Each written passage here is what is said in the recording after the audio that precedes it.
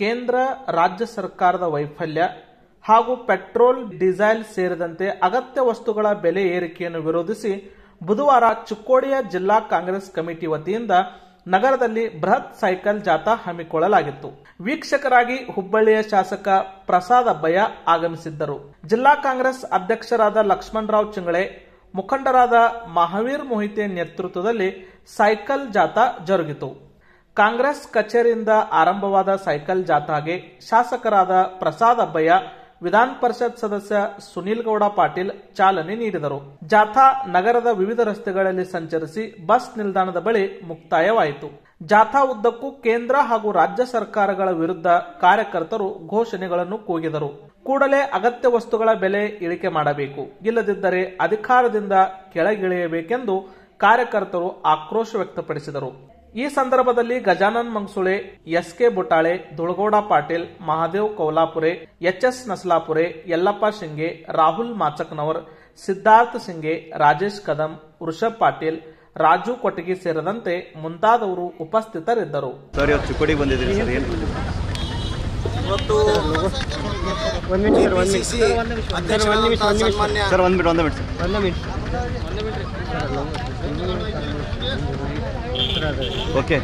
KPCC ಅಧ್ಯಕ್ಷರಾದಂತಹ ಸನ್ಮಾನ್ಯ D K Shivakumar ಅವರೊಂದು ಆದೇಶದ ಮೇರೆಗೆ ಇವತ್ತೇನು ರಾಜ್ಯದಲ್ಲಿ ದಿನದಿಂದ ದಿನಕ್ಕೆ ಪೆಟ್ರೋಲ್ ಮತ್ತು ಡೀಸೆಲ್ ಮತ್ತು ಗ್ಯಾಸ್ ಸಿಲಿಂಡರ್ ಬೆಲೆ ಗಗನಕ್ಕೆ ಏರ್ತಾ ಇದೆ. ಇವತ್ತು ಅದನ್ನು ನಾವು ವಿರೋಧಿಸಿ ಇವತ್ತು ರಾಜ್ಯಾದ್ಯಂತ ಸೈಕಲ್ ಜಾಥಾ ಮಾಡುವಂಥ ಒಂದು ಕಾರ್ಯಕ್ರಮ. ಇವತ್ತು ನಾನು ಹುಬ್ಬಳ್ಳಿ ಕ್ಷೇತ್ರದ ಶಾಸಕ ಪ್ರಸಾದಪ್ಪಯ್ಯ ನನಗೆ ಈ ಭಾಗದಲ್ಲಿ ಇನ್ಚಾರ್ಜ್ ಮಾಡಿದ್ದಾರೆ. ಜೊತೆಗೆ ನಮ್ಮ ಮಾಜಿ ಯೂತ್ ಕಾಂಗ್ರೆಸ್ ಅಧ್ಯಕ್ಷರಾದಂಥ ಬಾದರಳ್ಳಿ ಅವರು ಕೂಡ ಈ ಭಾಗದಲ್ಲಿ ಇನ್ಚಾರ್ಜ್ ಮಾಡಿದ್ದಾರೆ.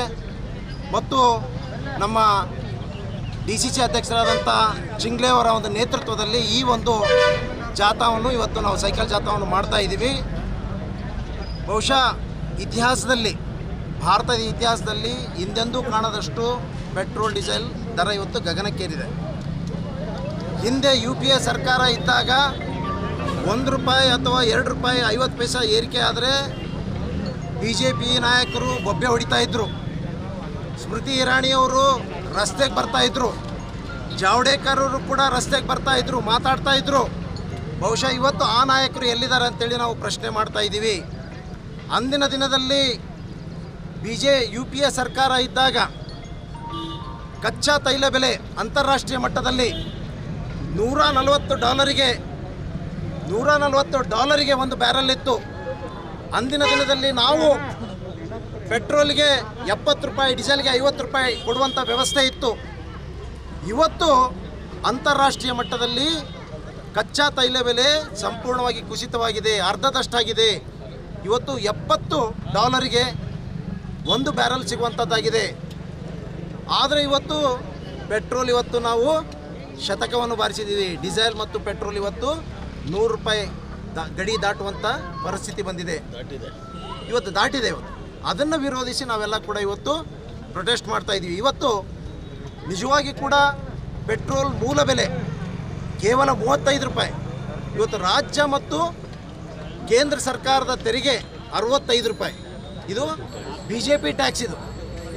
ಇವತ್ತು ಜನರಿಗೆ ಎಲ್ಲೋ ಕಡೆ ಬೇರೆ ಬೇರೆ ಥರದ ವಿಷಯಗಳನ್ನು ಬೇರೆ ಕಡೆ ಗಮನ ಸೆಳೆಯುವಂತೆ ಮಾಡ್ತಾ ಇದ್ದಾರೆ. ಎಲ್ಲೋ ಒಂದು ಕಡೆ ಇಲ್ಲ. ಇವತ್ತು ಪೆಟ್ರೋಲ್ ಏನೋ ಬಾಂಡ್ ನಮಗೇನೋ ಬಾಂಡ್ ಇದರಿಂದ ನಾವು ಏನು ಇಶ್ಯೂ ಮಾಡಿದ್ದೀವಿ ಹಿಂದೆ ಮಾಡಿದ್ರು, ಅದರಿಂದ ನಾವು ಎಲ್ಲ ಕೂಡ ಇವತ್ತು ಏರಿಕೆ ಆಗಬೇಕಾಗಿದೆ ಅನ್ನುವಂಥದ್ದು ಏನೋ ಬೇರೆ ಸುಳ್ಳು ಕಂತೆಗಳನ್ನೆಲ್ಲ ಕೂಡ ಕಟ್ತಾ ಇದ್ದಾರೆ. ಹಿಂದೆ ಕೂಡ ವಾಜಪೇಯಿ ಸರ್ಕಾರ ಇದ್ದಾಗಿಂದ ಕೂಡ ಈ ಆಯಿಲ್ ಬಾಂಡನ್ನು ಕೊಡುವಂಥ ವ್ಯವಸ್ಥೆ ಇತ್ತು. ಈಗ ಅವ್ರ ಸರ್ಕಾರ ಬಂದಾಗ ಕೂಡ ಆಯಿಲ್ ಬಾಂಡ್ ಕೊಡುವಂಥ ವ್ಯವಸ್ಥೆ ಇದೆ. ಎಲ್ಲ ಒಂದು ಕಡೆ ಜನರಿಗೆ ತಪ್ಪು ದಾರಿ ತೋರಿಸುವಂಥ ವ್ಯವಸ್ಥೆ ಇದೆ. ಇವತ್ತು ಸಣ್ಣ ಸಣ್ಣ ರಾಷ್ಟ್ರಗಳು, ಬಡ ರಾಷ್ಟ್ರಗಳು ಕೂಡ.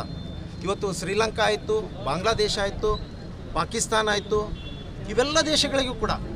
ಇವತ್ತು ನಮ್ಮ ಕಡೆಯಿಂದ ಇವತ್ತು ರಿಫೈನ್ಡ್ ಆಯಿಲ್ ನಾವು ಅವ್ರಿಗಿಂತ ಕಡಿಮೆ ದರದಲ್ಲಿ ನಾವು ಅವರಿಗೆ ಎಕ್ಸ್ಪೋರ್ಟ್ ಮಾಡ್ತಾ ಇದ್ದೀವಿ ನಾವಿಲ್ಲಿ ರಿಫೈನ್ಡ್ ಆಯಿಲ್ನ ಅಲ್ಲಿ ಎಕ್ಸ್ಪೋರ್ಟ್ ಮಾಡ್ತಾ ಇದ್ದೀವಿ ಇವತ್ತು ಯಾಕೆ ನಮ್ಮ ದೇಶಕ್ಕೆ ಯಾಕೆ ನಾವು ನೂರು ರೂಪಾಯಿ ಕೊಟ್ಟು ಅವರು ಅರ್ಧದಷ್ಟು ಬೆಲೆಗೆ ನಾವು ಎಕ್ಸ್ಪೋರ್ಟ್ ಮಾಡ್ತಾ ಇದ್ದೀವಿ ಇದನ್ನು ನಾವು ಕೂಡ ಇವತ್ತು ಕ್ವಶನ್ ಮಾಡ್ತಾ ಇದ್ದೀವಿ ಆ ನಿಟ್ಟಿನಲ್ಲಿ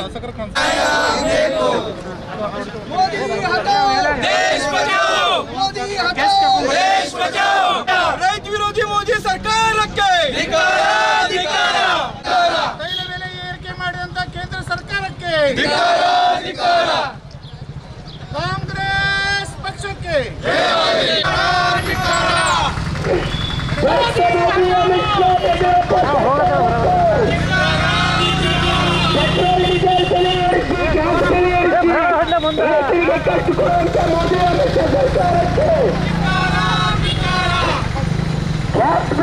ಪಕ್ಷಕ್ಕೆ ಮೋದಿ ಸರ್ಕಾರಕ್ಕೆ ಪೆಟ್ರೋಲ್ ಡೀಸೆಲ್ ಬೆಲೆ ಏರಿಸಿ ರೈತರಿಗೆ ಕಷ್ಟಕೊಡುವಂತ ಮೋದಿ ಸರ್ಕಾರಕ್ಕೆ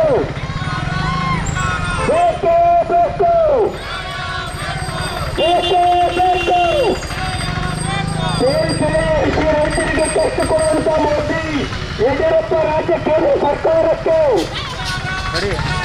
ಬೇಕೇ ಬೇಕು ಬೇಕೇ ಬೇಕು ಟೋಲ್ ಬೆಲೆ ಏರಿಸಿ ಏರಿಸಿ ರೈತರಿಗೆ ಸಾಮಾನ್ಯ ಜನರಿಗೆ ಕಷ್ಟ ಕೊಡುವಂತ ಯಡಿಯೂರಪ್ಪ ಹಾಗೂ ಕೇಂದ್ರ ಮೋದಿ ಸರ್ಕಾರಕ್ಕೆ